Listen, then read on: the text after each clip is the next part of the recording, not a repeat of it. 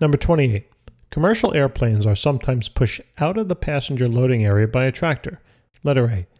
An 1800 kilogram tractor exerts a force of 1.75 times 10 to the 4 newtons backward on the pavement, and the system experiences forces resisting motion that total 2400 newtons. If the acceleration is 0.150 meters per second squared, what is the mass of the airplane? All right, so first let's try to create a simple free body diagram here. Now, um, it's talking about the entire system here, right? Being the system experiences forces. All right, so meaning the, the system being the tractor and the airplane. Okay, so let's assume that uh, this system is accelerating to the right. Okay, you could do it to the left too. Doesn't matter, but um, you're, you're make sure you use then a negative acceleration. All right. So a is equal to 0 uh, 150 meters per second squared. Uh, we have a, if our acceleration's in the right-hand direction, then the frictional forces, right, have to be pointing in the opposite direction of the motion. So this is where the 2400 Newton force will be pointing. Now it also says that the only um, the only applied force in this problem is from the tractor, right, where it is applying a 1.75 times 10 to the 4 Newton uh, force backward on the pavement. Now remember, uh, or what you may think is you may think, well, let me draw the arrow back, right? Because it's exerting a force backward on the pavement. Yes, it is, but that's not how you're going to draw it in your free body diagram. Because what's important are the forces acting on the system of interest, not by the system of interest. What do I mean by that? The tractor, right, produces this force on the pavement. And then, by Newton's third law, that pavement produces a force equal but opposite on the tractor. So that's the one we're interested in. So that's why I'm going to draw that vector to the right. Okay. So uh, this value is 1.75 times 10 to the uh, fourth. All right, great. And uh, looks like we got everything we need in order to start solving this. So let's take a look. It's in the x-axis, so we're going to use the sum of the forces in the x direction is equal to the mass of the system, all right, multiplied by the acceleration in that x direction. So what are the, for what are the forces in the x direction?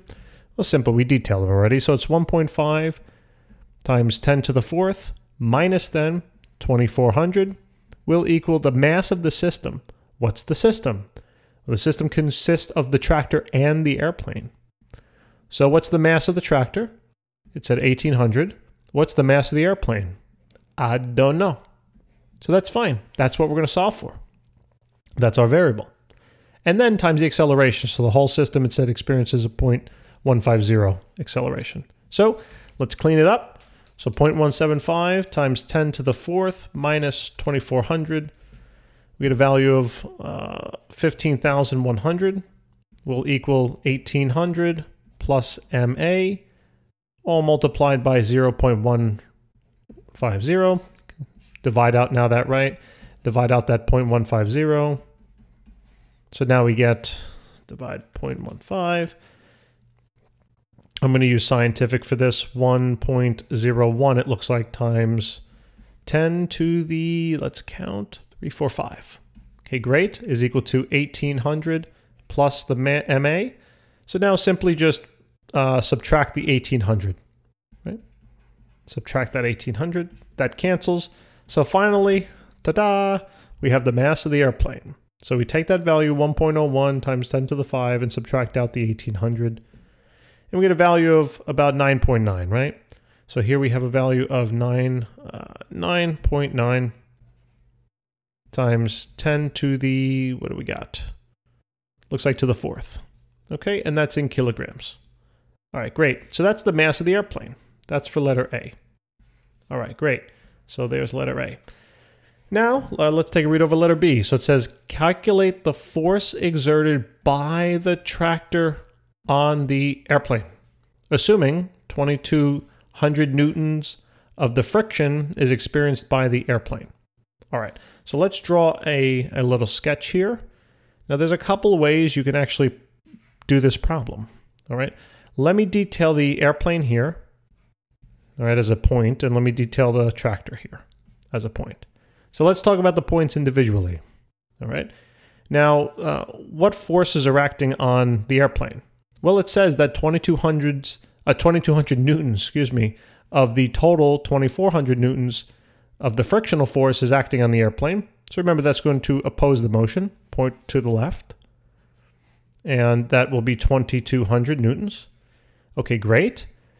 Um, what are the forces acting on the airplane? Well, the force of the um, tractor pulling on it, right? Okay. So what is that? Well, we don't know. Don't don't think it's this force, the 1.75 times 10 to the fourth. Remember, that's the force that the tractor exerts on the pavement, not directly on the airplane. So I don't know what that is. So that's my variable here. Okay, this is the force that I'm really looking for, right? That's what it's asking. Calculate the force exerted by the tractor. So I'll say this is the force of the tractor. Okay?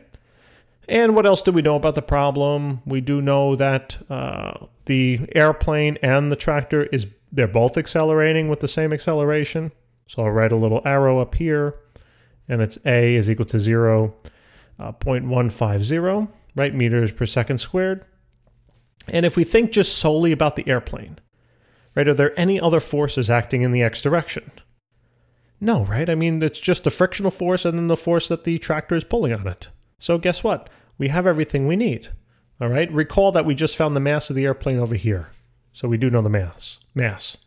So sum of the forces in the x direction will equal um, mass times acceleration in that direction. So we have the force of the tractor right, minus the 2200 should equal the mass of that airplane, which we calculated to be about 9.9 times 10 to the fourth, multiplied by the acceleration, which was 0.150. All right, and since I'm just running out of room, all right, I'm just going to solve it here. So it's going to be 9.9 times 10 to the fourth times 0.15, and then plus, right, because we got to bring the 2200 on over. So it looks like we get a value of 1.7 so 1.7 times 10 raised to the, uh, looks like fourth. Fourth, uh, fourth, and that is in newtons because it's the force. So there you go, guys. All right. Uh, that's how you would solve B. Let me give you another, um, even though the problem's over, let's take another look at how we might be able to do B. All right. to do B. Get it? Okay. So instead of looking at just the airplane, all right, we can look at the total system overall. All right, so what do I mean? So if you guys are interested in viewing it from another perspective, please continue on with me. If not, feel free to turn me down. All right, so here we have the airplane again, and here we have the tractor. Okay, so again, on the airplane, not much has changed. It's going to be the same. Okay, we got a force, the frictional force pulling back, it's 2200 we have the force of the uh, tractor, right, pulling forward. This time I'm just going to call it F. All right, even though it is the force of the tractor, let me just leave it as F. You'll see why in a minute. Now, that's great. Now let me look at the tractor. Okay, so what's going on with the tractor? What forces are acting on the tractor? Well, remember the pavement is pushing the tractor forward essentially. All right, and that has a value. That's the value we they gave us, right? That was a 1.75 times 10 to the fourth. Okay. Uh, also, the remember the total frictional forces were 2,400 newtons, and they told us that 2,200 of that was for the airplane. So then the leftover has to be for the tractor. So that was the 20. Oops, sorry. Uh, that was the uh, what is it? 200. Okay, Newton frictional force. And there's one other thing. And here's the part that sounds a little confusing, but I think it'll make sense. So this F, right, represents the force that the tractor is pulling on the airplane. Uh, however, remember Newton's third law, okay? If this is the force of the tractor pulling on the airplane, then there is an equal but opposite force that the airplane is pulling on the tractor with. And actually, let me just color that with the same color. So there's an equal but opposite force here as well. So I'll call that F. all right, according to Newton's third law. Um, I did a tug of war problem. I forgot the number, but it's early in this chapter. Maybe it was, I don't know, 18. Uh, I don't really remember. Um, in any case, though, I chose this particular uh, this particular method to solve that problem. All right, so this will look familiar uh, to you guys. So uh, I have now detailed fully, right, all the forces in the problem. Also remember that the whole system is moving to the right with an acceleration of 0.150 meters per second squared. All right, so now what I'm going to do is I'm going to look at each of these those separately first. Okay, so let me uh, create the force equations for each of them separate. All right, so I have the sum of the forces um, I'm just going to use sum of the forces in the x direction, okay? So I'm just going to start plugging in the values. You know what? I I want to, but I can't. It's my OCD. I'm sorry, guys. I have to do this first. Okay, so now that I have this for the airplane, okay, this is purely for the airplane. Uh, the forces for the airplane is going to be the force, right, that the tractor is pulling on the airplane with, uh, minus the 2200 frictional force, should equal then the mass of that airplane, uh, which was 9.9 times 10 to the fourth, and then uh, multiplied by the acceleration of that airplane in the in the x direction. Fair enough. Now let's do it for the tractor. Okay, so the sum of the forces in the x direction for the tractor will be equal to the mass of the tractor, right, times the uh, acceleration in the x direction for the tractor. So what are the forces on the tractor here? Let me Just draw a little line. Oop. So we don't. Okay. So, um, well, we have the positive, right? 1.75 times 10 to the fourth. We also have that, I'm just going to write it underneath. We also have the negative 200 frictional force and also the negative force, right, that the airplane is pulling on the tractor with, which is the same force as the tractor is pulling on the airplane with. That whole thing should be equal to the mass of the tractor, which they told us was 1800, multiplied by the acceleration of that tractor. Okay, Cool. So now what, where do we go from here? So let me simplify a couple of things. And what I'm going to do is I'm going to solve both of them for the acceleration. All right. Why am I going to do that? Think about it. Follow me here and then uh, let me know what your answer is, although I can't hear you. Um, you'll see if you're right. All right. I'll let you know why in a second. So let's just solve both of these for acceleration and we'll clean it up a little bit, combine some like terms if possible. So here we have f minus 2200 all over 9.9 times 10 to the fourth. That's equal to AX for the airplane. And then on the right-hand side, we combine the 1. Point, uh, excuse me, 1.75 times 10 to the fourth minus 200. That'll barely make a difference. So we get 1.7. So this is 1.73 times 10 to the uh, fourth. That's minus F, right? Minus f, and that is then over uh, 1800. Okay, and that whole thing, let me erase this a little bit, sorry. That whole thing is equal to now uh, AX of the tractor. Okay, so why did I do this? Remember, the whole system is moving with the same acceleration. So guess what these values are to one another? Those values of acceleration are equal. And therefore, what can I do? I can now make these equal to one another. So let's do that. All right, so here's my new equation. I have f minus 2200 all over 9.9 times 10 to the fourth is equal to 1.73 times 10 to the fourth minus f all over 1800. Okay, now if I just do a little math, you'll see that the force comes out to be the same. So uh, what I'm going to do, I'm just going to bring the 1800 up to the numerator there and then divide the 1800 by the 9.9 uh, times 10 to the fourth. So 1800 divided by 9.9 times 10 to the fourth. So I get a value of uh, 0.0182 it looks like about. And that's going to be multiplied then by the force minus 2200. And that equals 1.73 times times 10, 10 to the fourth, sorry, minus f.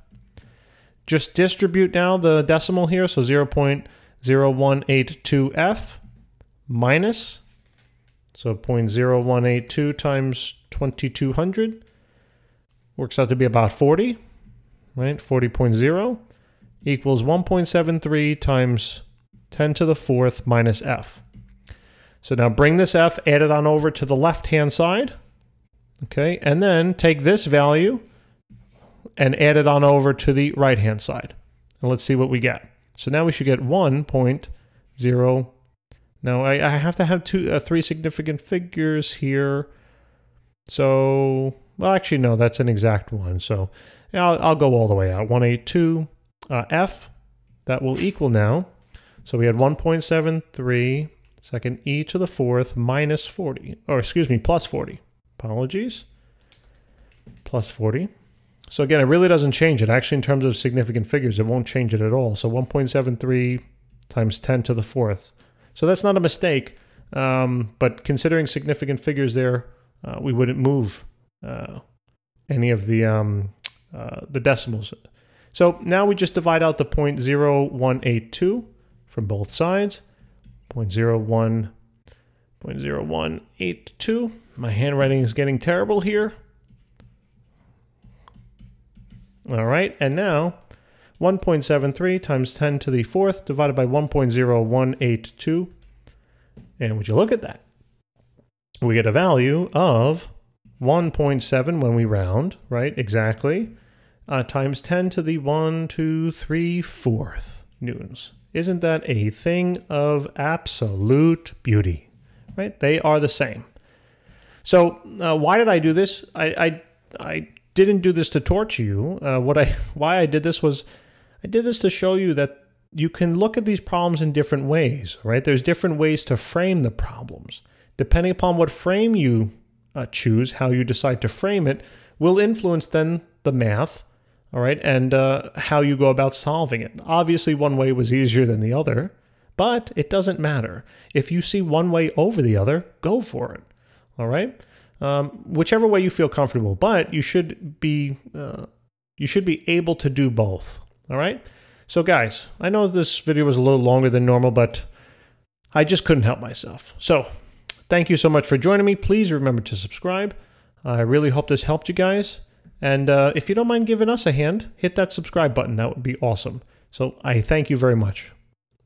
See you in the next video.